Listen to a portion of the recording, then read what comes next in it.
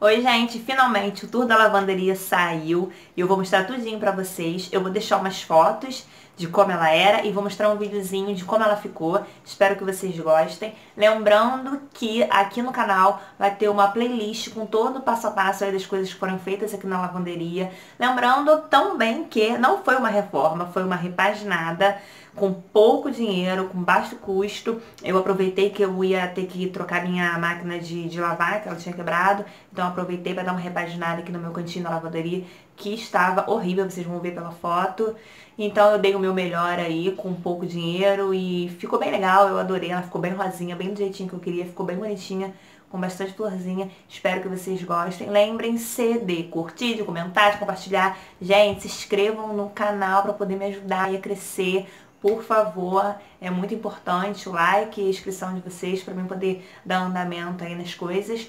E lembrando também que se vocês quiserem que eu fale um pouquinho sobre a máquina de lavar, é só deixar aqui nos comentários. E vão lá no Instagram, me sigam, porque eu tô sempre colocando algumas coisas lá. E eu também vou continuar fazendo algumas coisas ainda pra lavanderia, ainda tenho algumas coisas em mente. E aí lá no Instagram vocês conseguem acompanhar um pouquinho melhor. E fiquem com tudo, espero que vocês gostem. Um beijo e até o próximo vídeo. Tchau!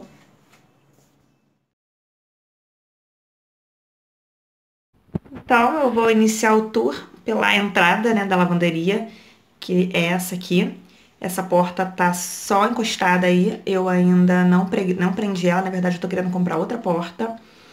E aqui ficou o armário, um armário que eu reformei, tem vídeo dele aqui no canal. Lembrando que vai ter uma playlist com todos os vídeos da reforma da lavanderia. E ele era aqueles armários de aço de cozinha, e eu dividi no meio e fiz esse azul e um outro que vocês vão ver, vão ver já já. E eu coloquei uma madeira em cima e fiz essa tábua de passar, né? Só que eu ainda não tô usando porque aqui fica o, a tomada e não vai até ali, então eu vou ter que fazer uma instalação, vou fazer aquela instalação eletroduto, né, que vocês dizem, se não me engano, aqui por fora para poder fazer uma tomada para passar roupa. Então, esse armário ficou para passar roupa e aqui tem umas ferramentas. Aqui eu coloquei esse lugar suporte, né, para botar a vassoura e o rodo aqui no cantinho da parede, também tem lá no canal. Aqui eu fiz essa prateleira maravilhosa, que eu achei linda, também tem lá no canal. E aí eu coloquei umas plantinhas, coloquei ali um, uns, uns potezinhos para guardar algumas coisas e tal. Aqui nesse lado tem a minha querida batata doce, maravilhosa. Olha, aqui é um pedaço da escada. E depois um dia eu vou rebaixar o teto, se Deus quiser, e aí Vou, vou tampar isso aí porque o pedreiro não conseguiu tirar. Então, tem um, um, fio aqui também que vai lá pra cima. Enfim, já, isso aí esquece, finge que não viram. Então, aqui tem uma batata doce e aqui tem a min, meu chifrezinho de viado. Peraí que tá meio escuro, meu chifrezinho de viado. Voltando aqui pra esse cantinho, aqui é o varal. Tem um outro varal de pé que vai entrar aqui, no caso tá na varanda, mas ele vai ficar aqui. E agora, esse cantinho que ficou, pra mim, maravilhoso. Lembrando, tá, que o piso foi eu e meu marido que colocamos. Já tá meio pretinho, que já tem um tempinho que a gente colocou, rejunte branco, já suja à toa. O azulejo foi eu que coloquei. Então, esse cantinho ficou muito lindo. É a visão, né? Quando a porta tá aberta, é onde eu vejo. É o que eu vejo. E a minha máquina é essa daqui. 12 kg Jet Clean da Electrolux. Se vocês quiserem resenha dela, deixem aqui nos comentários que eu falo um pouquinho sobre ela. E eu já comentei lá no Instagram, se vocês não me seguem, vão lá, me sigam lá, vou deixar o link aqui embaixo. E eu já comentei, né, que meu pedreiro, pedreiro que fez essa casa aqui, que fez a reforma da casa, né, é, que refez a casa, quando dividiu a casa em três andares, é, ele, para ser ruim, ele tinha que melhorar muito, porque ele era muito ruim, muito, muito, muito, muito ruim mesmo. E ele fez nada a ver com nada. Então, a tomada é aqui, para sair água é aqui, para entrar água é aqui. Então ele fez meio que nada a ver com nada. Então ficou meio confuso aqui, né? O cano ficou meio que para fora, ele poderia ter posto mais para baixo, aqui também poderia ser mais para baixo. Acabou que ficou tudo aparente aí. Mas um dia, quando eu realmente reformar a lavanderia, porque isso aqui foi uma repaginada.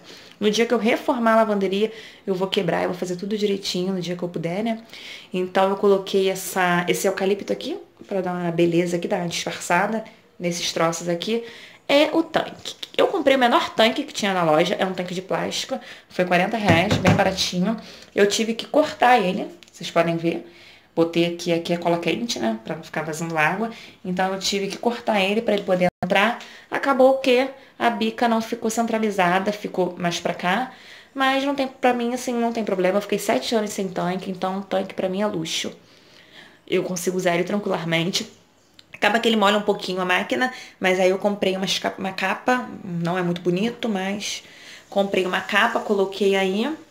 E aí, quando eu tô usando a máquina, eu cubro ela. E aí, pra, pra não evitar de estragar a máquina e tal, então eu mantenho ela cobertinha com, com plásticozinho branco. E aqui é papel contact. Eu queria muito um detalhe de madeira na minha lavanderia, então eu coloquei um papel contact mesmo. E eu achei que ficou muito legal. O armário branco é aquele armário, né? Que é a parte de cima do armário azul. Ah, eu vou estar tá deixando aqui, ó, essa, esse azulejo aqui. Eu cortei e fiz, eu vou estar tá deixando uma fotinho por aqui para vocês verem como é que ele era. Eu só cortei e eu mesmo coloquei aí. É um bem baratinho, foi tudo bem baratinho. Isso aqui acho que foi 12 reais o metro quadrado. Isso aqui foi 13. Foi o piso bem, uns pisos bem baratinhos. Eu realmente queria gastar bem pouco. E aqui eu usei pra botar pregador de roupa. E é um, sei lá o que, que é isso. Um potinho que eu achei nessas lojinhas assim que vendem essas coisinhas pro lar. Comprei, botei ali, pendurei ali. E aí eu posso tirar e levar para outro lugar quando eu quero estender roupa na varanda que bate mais sol. Aqui é o mesmo esquema, daquela prateleira ali. E aqui eu coloquei garrafa d'água, essa é garrafa de água, e aí aqui é amaciante, sabonete, sabão líquido e sabão em pó. Só coloquei aí, porque as pessoas, eu via muita gente usando aquelas biquinhas e reclamando que entupia. Então eu preferi não arriscar e coloquei aí, fica super fácil de vou jogar na máquina, super tranquilo. Coloquei umas plantinhas mais, lógico. E, gente, eu vou fazer algumas coisas ainda nessa lavanderia. Eu ainda quero fazer uma escada. Uma escada em um móvel. Uma escada que seja um móvel, assim. Um móvel que seja uma escada, enfim. Pra poder um banquinho, pra mim poder ter acesso aqui. Porque eu não consigo abrir esse armário aqui. Aqui tá os produtos de limpeza e aqui tem coisas de festa. Então eu preciso de uma escada, um banco, alguma coisa para me dar suporte para ir em cima. Então eu vou fazer aqui, fechar, enfim, não sei ainda. Ainda vou inventar alguma coisa para pôr aqui e vou atualizando vocês, tá bom? Lá no Instagram e aqui no canal também.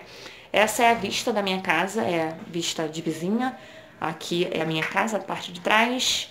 Então eu vou fazer uma, eu ainda eu quero pôr uma, eu comprei até uma telha, uma telha meio translúcida para pôr aqui, porque quando chove molha tudo aqui. Então eu quero fazer isso. Mas vou fazendo e vou atualizando vocês, vou, vou atualizando o tour aqui. E eu tô sempre colocando lá no Instagram. Então vão lá e me sigam, porque tem sempre coisas no Instagram. E é isso, gente. Espero que vocês tenham entendido. Espero que vocês tenham gostado. Qualquer dúvida aí é só deixar aqui nos comentários, tá bom? Que eu explico. E é isso.